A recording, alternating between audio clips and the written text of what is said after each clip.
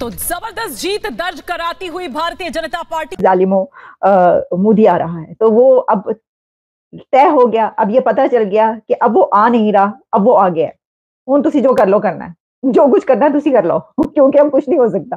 अभी इंडिया वालों ने आज ये खबर आई है कि वो तो अपना जितना भी बॉर्डर पाकिस्तान को लगता है या बांग्लादेश को लगता है वो उसकी फेंसिंग करने जा रहे हैं यानी कह लें कि उसको कवर करने जा रहे हैं। भारत के अंदर अभी कुछ चार एक स्टेट्स में इलेक्शन हो रहे हैं हुए हैं जिसमें जो मध्य प्रदेश है राजस्थान है तेलंगाना है छत्तीसगढ़ है इन स्टेट्स में जो बीजेपी है Bharatiya Janata party prime minister Modi की वो बड़ी लैंडस्लाइड विक्ट्री के साथ जो है वो जीत गई है। पाकिस्तान मुखालिफ चूरन बेचो और इंतबात जीत जाओ। मोदी सरकार ने पहले भी इसी गंदे धंधे से भारतीयों को बेवकूफ़ बनाया और अब एक बार फिर प्राइम मिनिस्टर नरेंद्र मोदी ने कामयाबी के बाद अपने राइवल्स को डंप करने के बाद उनको वार्निंग भी दी है। में अब तो भारत में सिचुएशन बड़ी मुख्तलिफ़ हो गई तो उन्होंने कहा कि हम आपसे बात करने कोई तैयार नहीं है। तो अब तो हमारे कोर्ट में तो बाल नहीं है क्योंकि इंडिया ने कहा है कि हम आपसे बात करने के लिए है कि भारत के हिंदू जो है ना वो अब एक मुट्ठी हो चुके वैसे तो भारत दुनिया की सबसे बड़ी जमहूरियत है लेकिन ये इसकी बदकिस्मती रही है कि फिर भी भारतीय मोदी जैसे इंतहा पसंद की ड्रामेबाजियों या शोबदेबाजियों के झांसे में आ जाते हैं। भारतीय इंतबात ऐसे माहौल में लड़े जाते हैं जैसे पाकिस्तान से बका की जंग लड़ी जा रही हो। खत्म होना चाहिए इंडिया को। आप देखें ऐसे लोग भी हमारे इधर मोदी साहब जो आ चुके हैं पधार चुके हैं और सिर्फ़ ये नहीं कि उन्होंने थ्री स्टेट्स यानी कि मध्य प्रदेश, छत्तीसगढ़ और राजस्थान में कामयाबी हासिल की है। बल्कि जो आने वाले लोकसभा के 2024 के इलेक्शंस हैं, उसकी भी गारंटी दी जा चुकी है। पर जब दो देश बन ही चुका था और मुसलमानों के लिए पाकिस्तान बन ही चुका था तो हिंदू राष्ट्र तो भारत को होना ही चाहिए था। बिल्कुल, बहुमत में जीत हुई है। अब यहाँ पर आता है कि मुसलमान महिलाएँ भी मोदी जी के पक्ष में रोड पर खड़े होकर कह रही हैं कि फूल खिलेगा तो कमल का खिलेगा और किसी का खिलने ही नहीं देंगे। वो अपने मुल्क के लिए बिल्कुल बेकार है। बिल्कुल। बेकार है। Prime minister Modi? उनका मुल्क तरक्की कर रहा है वो क्या कर रहे हैं? वो तो कुछ नहीं कर रहे वो तो मिनिस्टर मोदी वैसे ही ऊपर वज़ीर आज़म का सिर्फ़ उनको टाइटल दिया गया है बाकी भारत के लोग खुद ही प्रोग्रेस करी जा रहे हैं। ज़ाहिर बात है।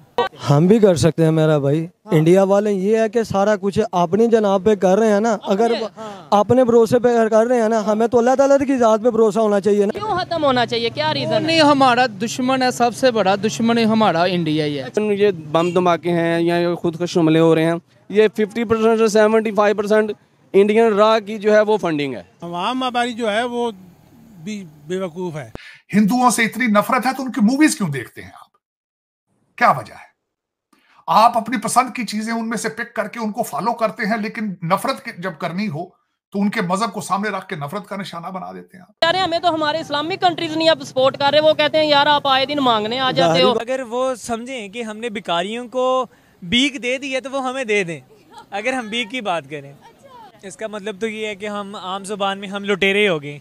हमें हर तरफ़ से पैसे चाहिए। डरते काफ़ी लोग डरते हम नहीं डरते। सर ये बात ना करें थोड़ी सी आप देखें ये हिस्ट्री को आप मैं उस तरीके से बात ये पता है 1970 1971 की जंग में क्या हुआ था आपको पता है? क्या नहीं पता नहीं फिर आप हंस के दिखा दें एक दफ़ा फिर से। ये हुआ था। मुसलमान भी काफ़ी खुश है प्राइम मिनिस्टर मोदी की इस विन को लेकर। मैं देख रही थी मुसलमान औरतों ने स्पेशल रोज़े रखे हुए थे। इंडिया के लोग भी ट्रेड चाहते हैं ये, ये नहीं चाहते। मैं आपको बताऊँ अब वो कुछ लोग चाहते होंगे लेकिन अब मोस्टली वहाँ के लोग ये कहते हैं हमें कोई रिलेशन नहीं चाहिए पाकिस्तान के साथ क्यों? ना सिर्फ़ उन्होंने कामयाबी हासिल की बल्कि इसके साथ साथ उन्होंने जो उनके राइवल्स हैं, जिनको उन्होंने बहुत ही बुरे तरीके के साथ डम किया है, उनको धमकी भी दे डाली है, चेतावनी दी है। जो प्राइम मिनिस्टर नरेंद्र मोदी है, उन्होंने वॉर्न किया है अपने राइवल्स को, अपने मुखालफिन को, अपने दुश्मनों को, यानी कि उन पार्टीज़ को जो कि उनके खिलाफ उनके मद्दे मुकाबल थी। और ज़ाहिर है कि आप जानते हैं कि कांग्रेस जो है, इसमें सरफहरिस्त है। उनको, उन्होंने एक क्या कहा है? वॉर्न किस तरीके से किया वो भी आपके सामने रखेंगे। ब्लूमबर्ग क्या कह रहा है, वो भी बताएँगे। देखिए ये जो मैं अपने प्रोग्राम्स में कई दिन से ये कह रही थी कि जालिमो मोदी आ रहा है। तो वो अब तय हो गया, अब ये पता चल गया कि अब वो आ नहीं रहा, अब वो आ गया हूँ। तुसी जो कर लो, करना है। जो कुछ करना है, तुसी कर लो। क्योंकि हम कुछ नहीं हो सकता। मोदी साहब जो आ चुके हैं, पधार चुके हैं, और सिर्फ़ ये नहीं कि उन्होंने थ्री स्टेट्स यानी कि मध्य प्रदेश, छत्तीसगढ़ और राजस्थान में कामयाबी हासिल की है। बल्कि जो आने वाले लोकसभा के 2024 के इलेक्शंस हैं, उसकी भी गारंटी दी जा चुकी है कि वो भी प्राइम मिनिस्टर नरेंद्र मोदी की जमात बीजेपी जीतेगी। तो अभी भी आ गया है और आगे जो है उसकी भी गारंटी हो चुकी है कि वो भी आएगा। मतलब आएगा क्या? समझे, आ गया। ये जो इलेक्शन है, इसको पूरी दुनिया में इस तरीके से देखा जा रहा है कि ये इलेक्शन दरअसल जो आने वाले, अब इलेक्शन है जनरल इलेक्शन जो है, लोकसभा के जो इलेक्शन उसकी ये एक गारंटी है। इस इलेक्शन ने बता दिया है कि अवाम का मूड क्या है। लेकिन मैं आपके सामने ये रखना चाहती हूँ कि बड़े ढोल बाजे बजाए गए और बहुत वहाँ पे जश्न मनाया जा रहा है, फूलों की पत्तियाँ निछावर की गई, सब कुछ किया गया। तो उसी के साथ जो है, जब मोदी साहब की स्पीच उन्होंने जो की है विक्ट्री स्पीच जिसको कहते हैं तो उस विक्ट्री स्पीच में जहाँ उन्होंने उन राइवल्स जिनको डंप किया उन्होंने, बुरे तरीके से शिकस्त दी है, ऐसी ज़बरदस्त डिफीट दी है, उनके लिए उन्होंने वार्निंग भी दी। और तीन राज्यों में तीन स्टेट में इतनी भारी बहुमत से जीत और एक एक कैंडिडेट एक एक विधानसभा के भारतीय जनता पार्टी के एक एक एमएलए की जीत जो है वो एक एक लाख वोट से हुई है। कहीं अस्सी हज़ार कहीं लाख ऐसा नहीं कि पाँच हज़ार दस हज़ार वोटों से उन्होंने जीत हासिल की है। लाख लाख डेढ़ डेढ़ लाख वोटों से उन्होंने जीत हासिल की है जो नॉर्मली हम लोग लोकसभा इलेक्शन में देखते हैं मेंबर ऑफ़ पार्लियामेंट जब बनते हैं लेकिन ये अच्छा। विधानसभा में ऐसा हुआ है। बहुत खुशी हुई है। बहुत दिल को राहत मिली है। और ऐसा एहसास होने लगा है कि भारत के हिंदू जो है ना वो अब एक मुट्ठी हो चुके हैं।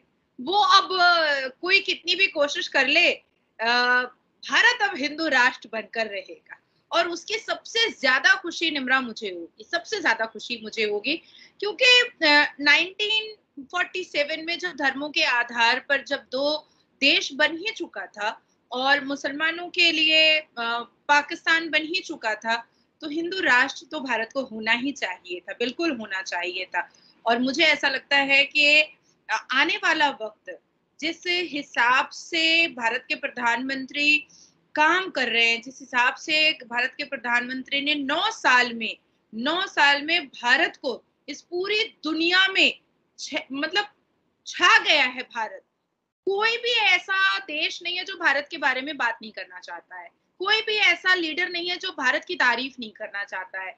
कोई भी ऐसा कंट्री नहीं है जो भारत के साथ अपने रिलेशन दुरुस्त नहीं करना चाहता है।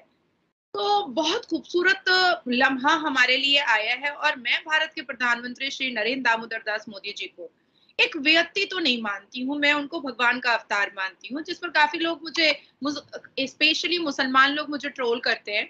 बट मुझे कोई फ़र्क नहीं पड़ता है। लेकिन मैं आपको बताऊँ आज मैं देख रही थी वीडियोस मुसलमान भी काफ़ी खुश है। प्राइम मिनिस्टर मोदी की इस विन को लेकर मैं देख रही थी मुसलमान औरतों ने स्पेशल रोज़े रखे हुए थे और बड़ी खुश हैं। मुस्लिम महिलाएँ बहुत खुश हैं। मैं मैं तुमको करेक्शन हाँ। कर मुस्लिम महिलाएँ बहुत खुश है मोदी जी के छा जाने से और आ जाने से।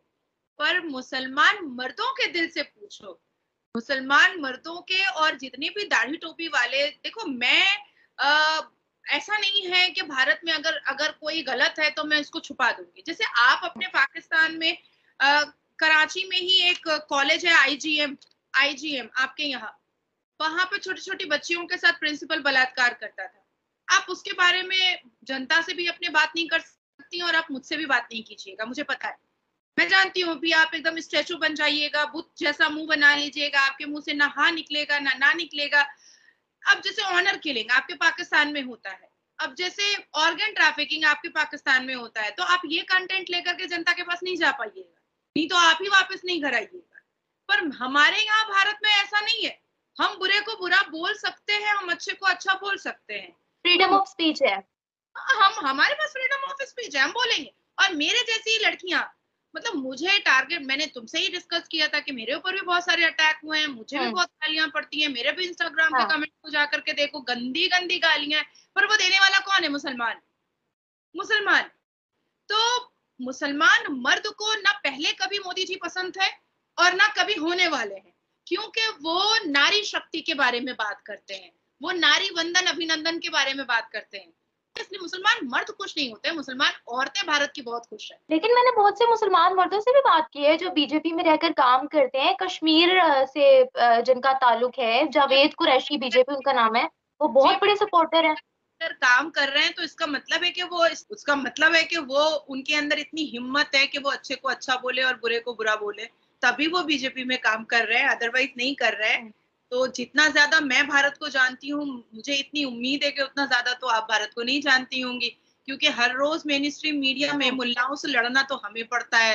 हर रोज मेन स्ट्रीम मीडिया में झगड़ा तो हमें करना पड़ता है।